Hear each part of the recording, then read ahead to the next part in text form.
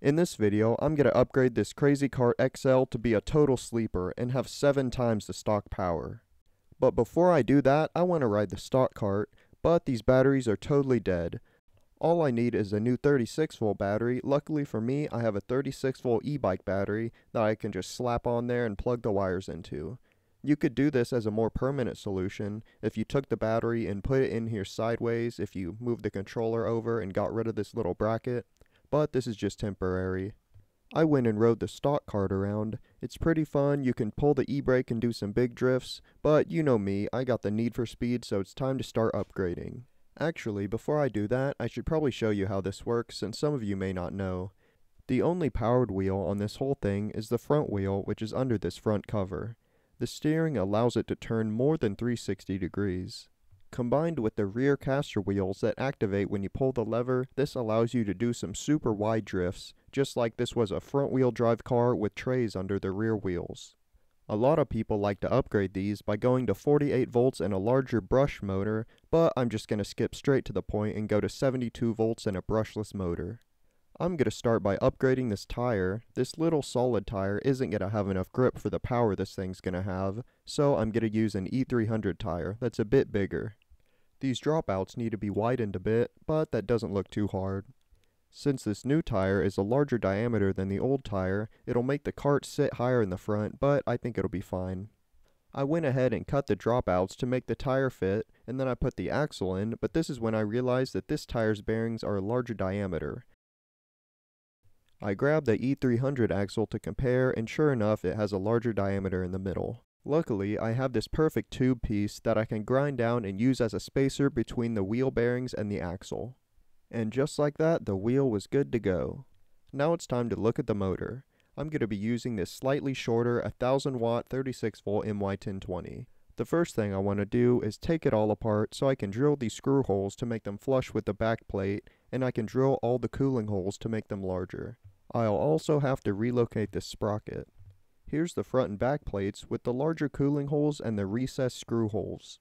Now that the motor is as compact and high performance as possible, it's time to install it. However, it's still too long. I gotta cut this shaft down. After I cut the shaft down and welded the sprocket on, it was good to go. I bolted it down on top of two layers of washers to make sure it had some chain adjustability each way.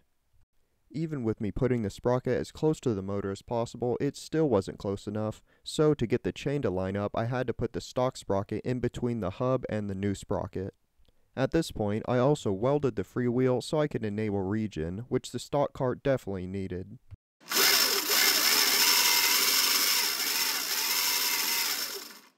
Once I installed that whole assembly back into the cart, it was time to focus on the battery. Once I removed this stock bracket, it gave me a huge area to work with. I'm going to be building a 72 volt 30 amp hour battery for this cart, which is just ridiculous. It'll be 5 times the stock capacity, so it should last forever even with the higher power. The cells I'm going to be using are these BAK 21700 cells that are 5 amp hours of capacity and 10 amps of discharge. When I unbox them, they're all jumbled up like this, but they weren't damaged, so I can't really complain since I did get them for only $1 a cell, which is just so cheap. I'm also going to be using hexagon cell spacers like I always do, and this dumb 50 amp BMS for my first Razor scooter. Before I put all the cells into the spacers, I made sure to test each one's voltage and internal resistance to make sure they're all good. Once I put all the cells in the spacers, I put the BMS on the side and started thinking about how the current was going to flow. I'm going to have it come down one side, go across a bus bar, and then go back on the other side.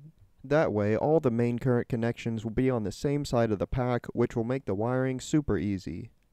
Here's what my cell connections look like. I only need 0.15mm nickel since these aren't high current cells. However, on the bottom row, I'm going to have to do a copper nickel sandwich for the bus bar.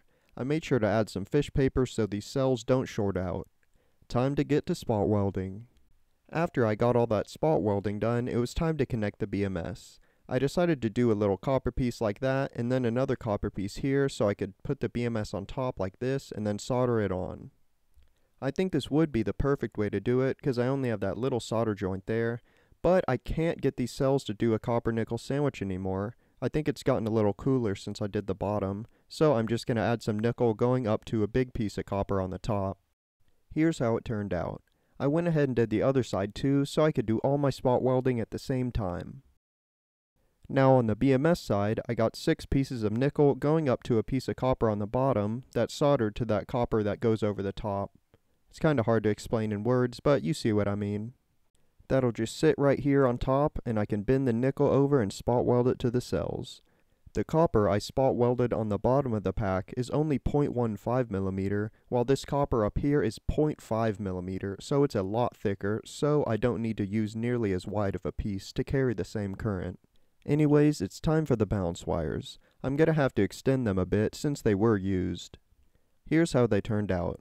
I thought they were gonna be a bit harder to do, but they turned out to be pretty easy. Since this isn't a smart BMS, I can't just connect my phone to it to check everything like I normally do, so I'm gonna grab a charger and some alligator clips and try and charge the pack. Once I connected the charger, it seemed to work, but there's no lights on the BMS, so I don't know if it's actually working. So I left one of the balance leads long so I could cut it and see if the charger cuts off. And sure enough, it does. This is really good. It means the BMS knew something was wrong and cut off the charger. Now that I'm more confident in the BMS, I can fish paper, Kapton tape, and shrink wrap the whole pack. After that, I hot glued all the seams to make it more water resistant and soldered on two XT60 connectors, since this isn't a super high current pack. Now it's time to sit back and admire my work. I really like this new black shrink wrap I got. None of the seams ripped like they sometimes did with the old blue shrink wrap I had. To test the pack, I put it in my Ego mini bike. I started off on mode 1 which is 50 amps and it worked perfectly. I then put it on mode 2 100 amps and I expected it to trip pretty quick but it just wasn't tripping so I went all out and put it on mode 3 200 amps and it was still not tripping. I was pulling 180 amps through this 50 amp BMS for like 10 seconds doing pulls, which is not good. This is why I'm never using these dumb BMSs again, you just have no idea what type of quality you're getting.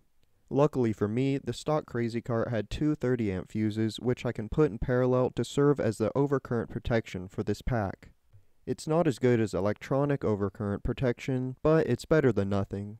Now it's time to start installing the electronics in the cart. I got the battery in there, it fits pretty good, I'll just have to add some foam around it to hold it still. I got the little fuse module, I had to bend it to fit it there. I'm definitely going to have to cut a bunch of holes in this side panel here to get all the wires in.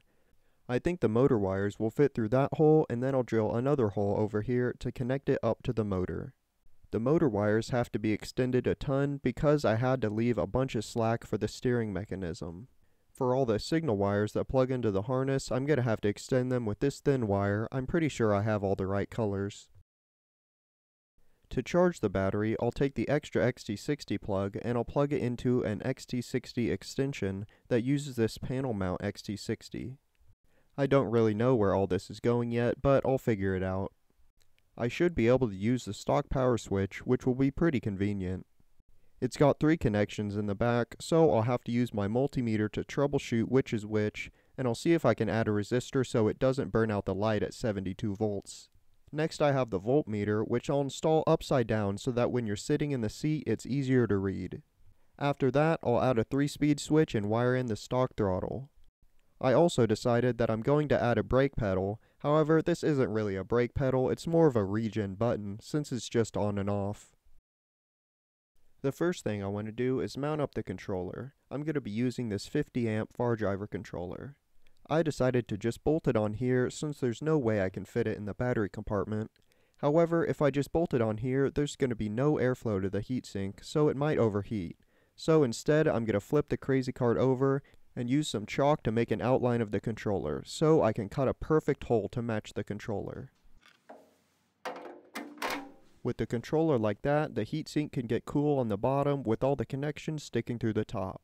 The last thing to do before wiring is mounting this foot pedal switch. All it is is a micro switch inside, I think this came with my K-Weld when I bought it. A few holes drilled and bolts threaded later and it's done. To route the wires, I just copied the exact same route that the gas pedal took. Once the wires go up, they meet the motor cables and head into the battery box. The motor cables are soldered to some copper pieces then bolted to the controller because I didn't have any lugs that small. I did the same thing with the battery cables.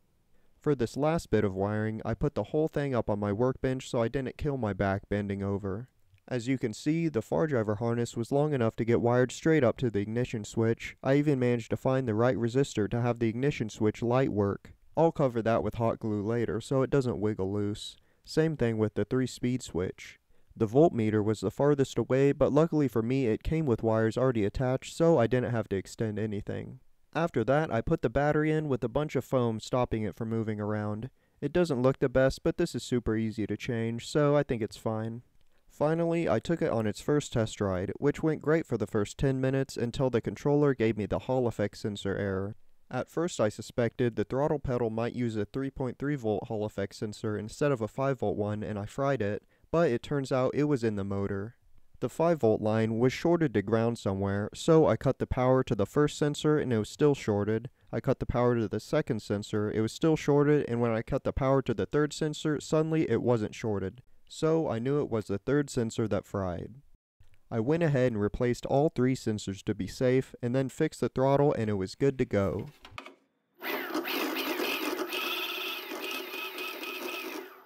Now before I really start riding this hard, I'm going to test the overcharge protection by setting my charger to 90 volts. If the BMS is working right, it'll stop charging before it goes over 84 volts. After setting the charger, I just sat here and watched it to make sure it didn't actually charge at 90 volts and blow up, but it looks like it cut out because it shot right up to 90 volts. When I unplug the charger, it goes back to 83 volts, so I know the overcharge protection is working. This test also proves that the MOSFETs didn't fail on, which could have happened when I was pulling a ton of current earlier. Anyways, enough with all that safety stuff, it's time to get dangerous and see what this cart can really do.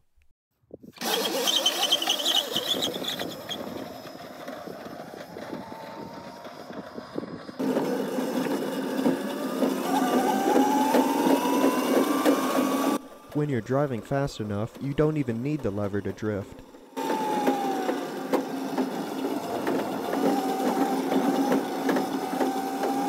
If you do use the lever while going fast, it's super easy to spin out.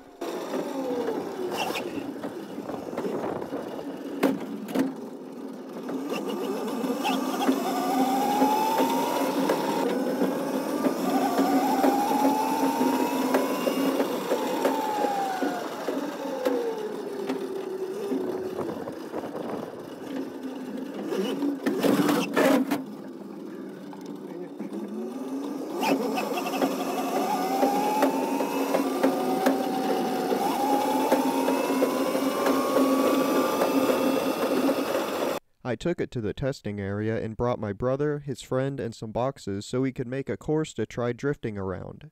One thing I noticed right away is that when you're driving fast, you have to hold the wheel tight, otherwise it does a huge death wobble. I don't know why it does this, it might be the bigger wheel or the extra torque, but it's annoying.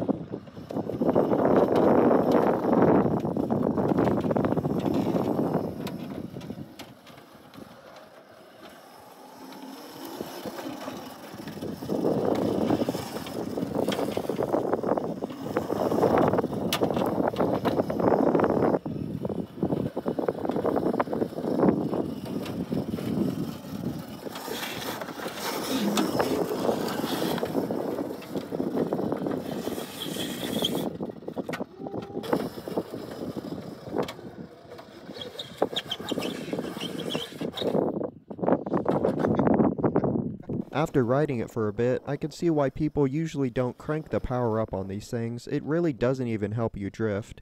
Here my brother has it set to 50% power and it's already way too much power to the point where the throttle is just way too touchy.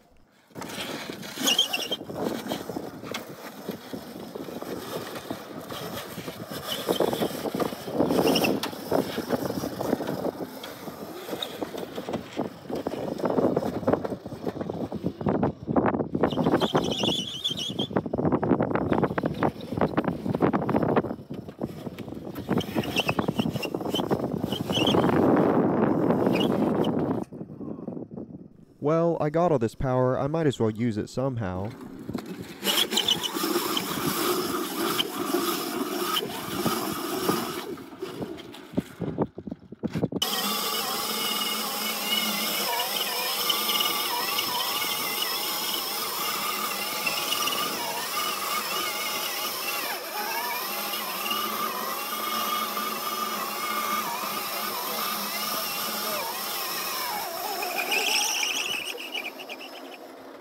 That's enough crazy karting for me, I'm just gonna sell it now, but I need the 50 amp controller off it for my next project, so I'm gonna steal the 35 amp controller off my rental scooter.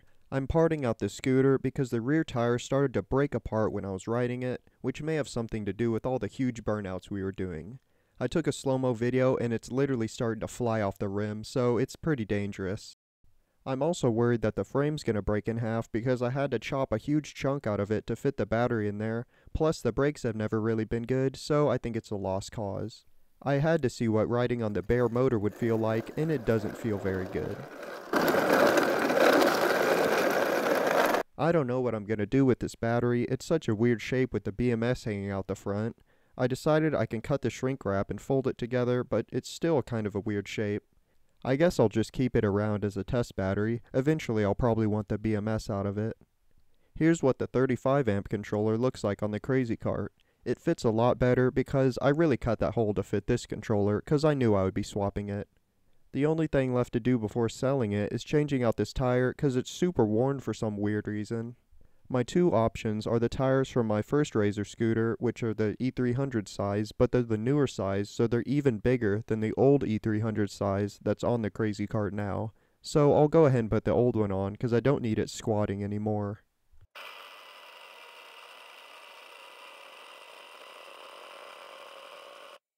Now it's ready to go to its new home. With that black controller, it's even more of a sleeper since it stands out a lot less. I see how these can be fun, but I prefer my drift karts a bit different.